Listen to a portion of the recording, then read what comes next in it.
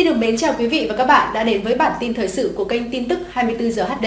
Ngày hôm nay đã diễn ra những sự kiện đáng chú ý nào? Kính mời quý vị và các bạn cùng theo dõi ngay sau đây. F0 liên tục vượt đỉnh, Hà Nội có gần 1.000 ca Covid-19 nặng, nguy kịch. Ba người tử vong tại nhà, Lào Cai khuyến cáo dấu hiệu F0 cần báo y tế, chuyển viện. Nỗi đau xé lòng của người nhà nạn nhân bên bàn thờ tạm ở biển Cửa Đại. Gia đình 8 con, cháu mất hết rồi, Gia Lai ghi nhận 1.168 trường hợp dương tính với SARS-CoV-2, toàn tỉnh đã có 48 ca tử vong. Điệp khúc đấu thầu và nỗi khổ của bệnh nhân, bác sĩ sinh ra không phải để đi mua hàng hóa. Sơn La ghi nhận hơn 23.000 ca mắc Covid-19 từ đầu năm đến nay. Trên đây là bản tin thời sự nóng nhất mà biên tập viên của chúng tôi đã tổng hợp. Mọi ý kiến trái chiều, kính mời quý vị để lại tại phần bình luận. Ngay sau đây là phần thông tin chi tiết. F0 liên tục vượt đỉnh, Hà Nội có gần 1.000 ca COVID-19 nặng, nguy kịch. Kính thưa quý vị, Sở Y tế Hà Nội thông tin trên địa bàn đã phát hiện thêm 10.783 ca dương tính SARS-CoV-2. Đây cũng là ngày Hà Nội ghi nhận nhiều F0 nhất từ trước đến nay.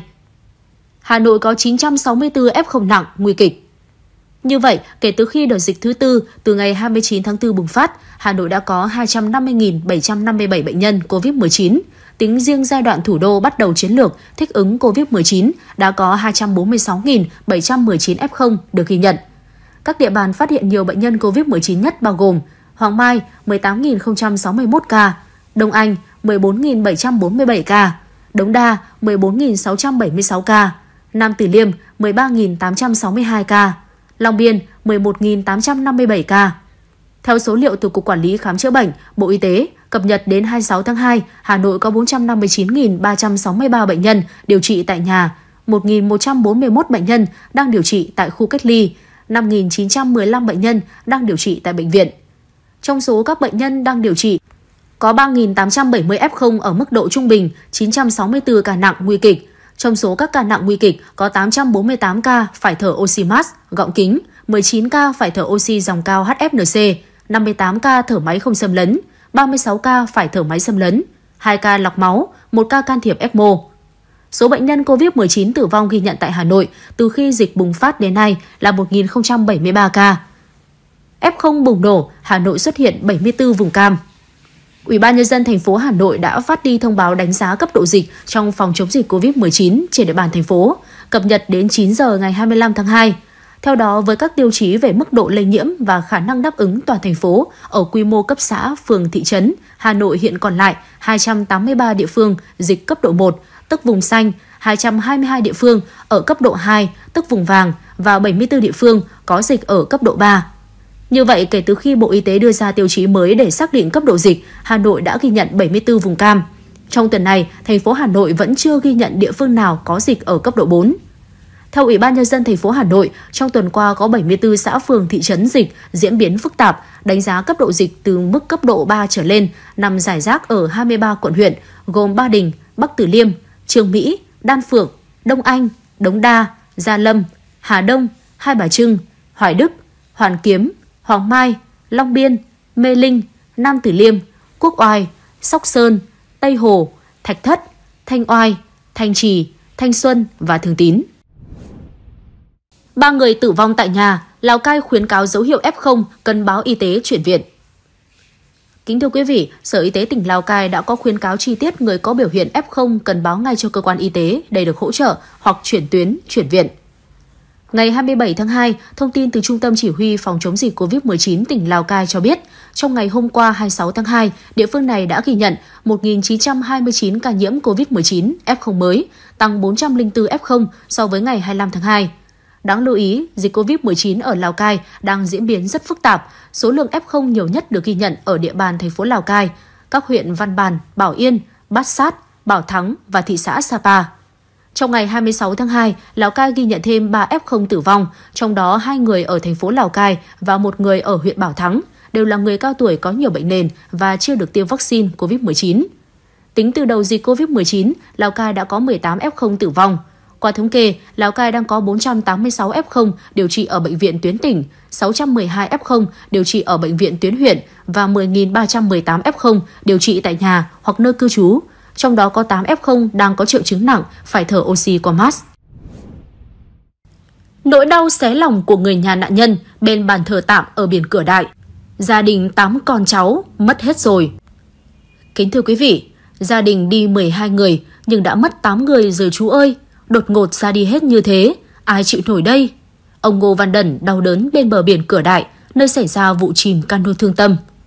Từ sáng sớm ngày 27 tháng 2, người dân Hội An, Quảng Nam và người thân của những nạn nhân xấu số đã lập bàn thờ bên bờ biển, vọng bái vong linh những nạn nhân trong vụ lật cano vào chiều ngày 26 tháng 2. Vụ chìm cano khiến 15 người tử vong, hai người mất tích ở biển Cửa Đại đã để lại nỗi đau quá lớn cho gia đình các nạn nhân. Cha, mẹ mất con, chồng mất vợ, những đứa trẻ tội nghiệp phải rơi vào cảnh mồ côi. Hiện các đơn vị triển khai lực lượng, phương tiện, thiết bị tìm kiếm. Ngư dân, thuyền đánh cá địa phương cũng được huy động tham gia tìm kiếm hai nạn nhân mất tích còn lại. Các đơn vị phối hợp tìm kiếm nạn nhân liên tục cập nhật tình hình nhằm thực hiện phối hợp tìm kiếm nạn nhân hiệu quả, với nỗ lực tìm thấy các nạn nhân còn lại sớm nhất có thể. Theo ghi nhận, người dân Cửa Đại, Hội An vẫn tiếp tục đến bờ biển theo dõi công tác tìm kiếm nạn nhân mất tích, giúp đỡ gia đình, người thân nạn nhân lập bàn thờ tại bãi biển cầu nguyện cho các nạn nhân. Những nén nhang được thắp lên trên chiếc bàn thờ tạm, chống trải nơi cửa biển. Từng cơn gió lạnh thốc vào khiến lòng người tê bút. Từng dòng người đến thắp nhang, cầu mong linh hồn những người xấu số sớm trở về với gia đình. Gia Lai ghi nhận 1.168 trường hợp dương tính với SARS-CoV-2, toàn tỉnh đã có 48 ca tử vong. Kính thưa quý vị, Ban chỉ đạo phòng chống dịch COVID-19 của tỉnh Gia Lai cho biết vừa ghi nhận 1.168 trường hợp dương tính mới với SARS-CoV-2. Ngày 27 tháng 2, Ban chỉ đạo phòng chống dịch COVID-19 của tỉnh Gia Lai thông tin từ ngày 26 tháng 2 đến 12 giờ ngày 27 tháng 2, tỉnh ghi nhận 1.168 trường hợp dương tính mới với SARS-CoV-2. Tính từ ngày 26 tháng 4 đến 12 giờ ngày 27 tháng 2, trên địa bàn tỉnh ghi nhận 20.548 trường hợp dương tính với SARS-CoV-2, đã có 48 ca tử vong, trong đó hơn 65% số ca tử vong là do bệnh nền nặng và chưa tiêm vaccine.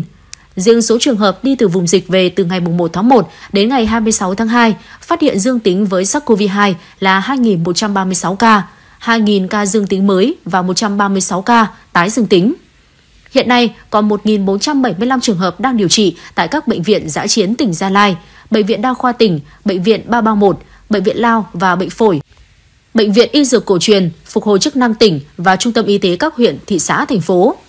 Tính đến 6 giờ ngày 27 tháng 2, có 5 cán bộ tham gia phòng chống dịch, thực hiện cách ly tập trung tại trạm khách 2, Bộ Chỉ huy quân sự tỉnh. Liên quan đến trường hợp tử vong thứ 47 và 48, Ban chỉ đạo thông tin như sau. Trường hợp thứ 47, sinh năm 1956, chưa tiêm vaccine phòng COVID-19. Ngày 24 tháng 2, bệnh nhân vào Trung tâm Y tế huyện Ca Bang thực hiện test nhanh dương tính với SARS-CoV-2. Khoảng 1 giờ, bệnh nhân chuyển vào khoa nhiệt đới, Bệnh viện Đa khoa tỉnh. Khoảng 7 giờ ngày 26 tháng 2, bệnh nhân tử vong, chẩn đoán tử vong, ngừng tuần hoàn hô hấp, viêm phổi nặng do COVID-19.